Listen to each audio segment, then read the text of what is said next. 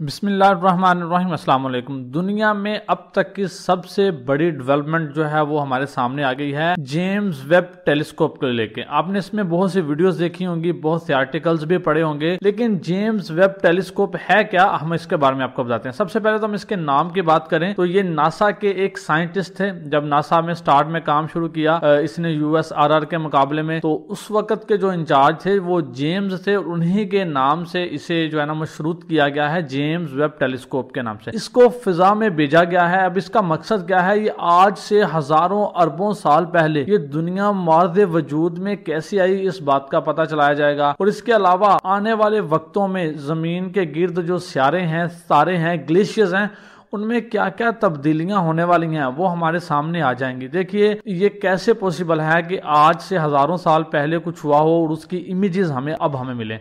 इससे पहले जो टेलीस्कोप फिजा में भेजी गई थी, आज से इकतीस साल पहले भेजी गई थी, उसे हब टेलीस्कोप कहते हैं।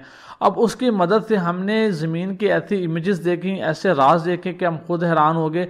अक्सर आपने न्यूज़ में ये बातें सुनी होंगी कि एक सितारा है, वो ज़मीन की तरफ़ आ रहा है, या कोई बहुत बड़ा पत्थर है, वो ज़मीन की तरफ़ आ रहा है। वो इतने बज के, इतने मिनट से ज़मीन के पास से गुजरेगा या ज़मीन से टकराने का खदशा है। तो ये सब कुछ पॉसिबल होता है इन्हीं टेलीस्कोप की मदद से। लेकिन ये जो बातें हम तक पहुँचती थी, ये हब टेलीस्कोप के ज़रिए हम तक पहुँचती थी। लेकिन ये 2030-40 में इसने एक्सपायर होना था। तो उसके बाद कुछ ऐसा मजीद चाहिए था जो हमें इस तरह की इंफॉर्मेशन दे, जो हमसे करोड़ों लाइट ईयर दूर ग्लेशियर्स हैं। उनके मुतालिक मालूम फ्राहम करे, हमारी ज़मीन अर्थ पे क्या होने वाला है, इसमें क्या चेंजेस आने वाली हैं, उसके बारे में मालूम फ्राहम करे। तो इसलिए जेम्स वेब टेलीस्कोप को लॉन्च किया गया है। अब इसकी हम कॉस्ट की बात करें तो इस पे तकरीबन 10 अरब डॉलर खर्च आया, क्योंकि इसकी अमाउंट काफ़ी ज़्यादा बड़ी है तो इसलिए ये तकरीबन ऑलमोस्ट तमाम जो यूरोपियन कंट्रीज़ हैं, उन्होंने इसकी मिल के फंडिंग की है। अब आप देखें कि यूरोप जो है, वो इस लिहाज से कितना इकट्ठा है। अब उसकी जो एक इतिहादी फौज है, अब वो जितना भी इस तरह के काम हो, अगर एक कंट्री अफोर्ड नहीं कर सकती, वो तकरीबन ऑलमोस्ट सभी कंट्रीज़ उसकी फंडिंग करती हैं और उस चीज़ को लॉन्च करती हैं। लेकिन अगर आप इसी चीज़ को एशिया में देखें,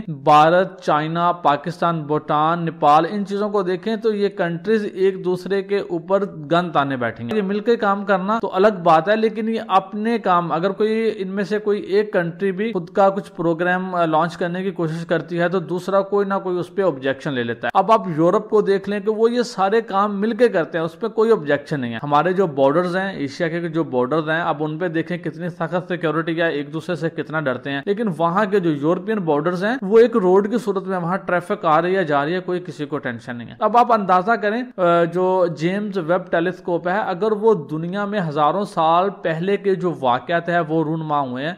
अगर आप उनको अब देख सकते हैं इसके मदद से तो आपकी निगरानी जो यूरोप है, एशिया की निगरानी या अपने ऐसे ममालिक जिनके वो निगरानी करना चाहता है, जिस, जिन पे वो नज़र रखना चाहता है तो वो उनकी किस कदर कड़ी निगरानी कर सकता है इस टेलीस्कोप के ज़रिए। इस टेलीस्कोप को बनाने के लिए नासा, यूरोपियन स्पेस एजेंसी और कैनेडियन स्पेस एजेंसी, इन्होंने मिलकर काम किया है और इसकी फंडिंग ऑलमोस्ट यूरोप के जितने भी तमाम ममालिक हैं, उन्होंने की है और इसको बनाने में इकतीस साल लगे हैं। आप आप अंदाज़ा करें कि ये कैसी चीज़ है। देखने में तो आपको ये बिल्कुल एक नॉर्मल सी चीज़ दिखाई देती होगी। ले, और इसे लॉन्च करने के लिए फ्रांस की एरियन स्पेस कंपनी है। उसने इसे फजा में लॉन्च किया है। एरियन स्पेस कंपनी जो है, वो इस हवाले से काफ़ी फ़ेमस है कि कोई भी बाड़ी बरकम टेलीस्कोप है या कुछ भी ऐसा मटेरियल होता है जिसे फजा में पहुंचाना होता है तो इस कंपनी की खिदमात ली जा सकती है। जो हब टेलीस्कोप है, वो आज से इकतीस साल पहले लॉन्च की गई थी तो उससे हमें इतनी इंफॉर्मेशन मिलती है कि हम खुद हैरान हो जाते हैं। लेकिन ये अब तक की सबसे डेवलपमेंट है, सबसे बड़ी डेवलपमेंट है, जो